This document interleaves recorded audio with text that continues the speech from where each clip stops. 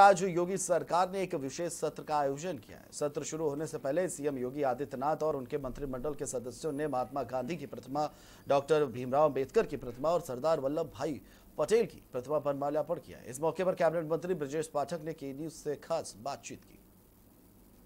संविधान दिवस पर आज विशेष सत्र का आयोजन हो रहा है और सीएम योगी आदित्यनाथ इस समय तमाम जो महापुरुष है उन पर माल्यार्पण कर रहे हैं। इस समय हम खड़े हैं सरदार वल्लभ भाई पटेल की प्रतिमा के सामने जहाँ से अभी सीएम योगी आदित्यनाथ माल्यार्पण किए और यहाँ से आ, वो बाहर निकले हैं। सर पाठक जी सर विशेष सत्र का आयोजन किया गया है।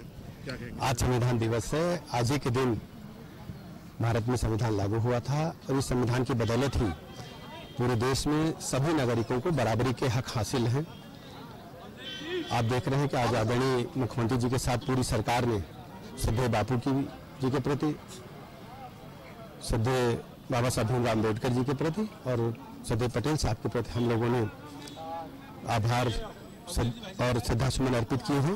उनकी वजह से ही आज भारत में सभी नागरिकों को समान अधिकार मिल सके हैं और स्वतंत्र भारत के में जो ये संविधान निर्मित हुआ, उसमें उन लोगों ने कितनी मेहनत की।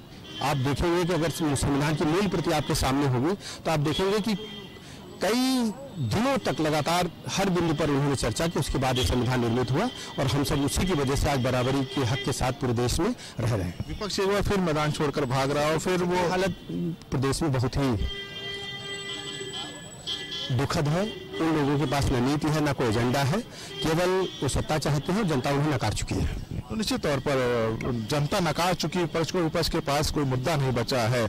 कैमरामैन सत्यनारायण के साथ मैं राहुल श्रीवास्तव के न्यूज़ लखनऊ।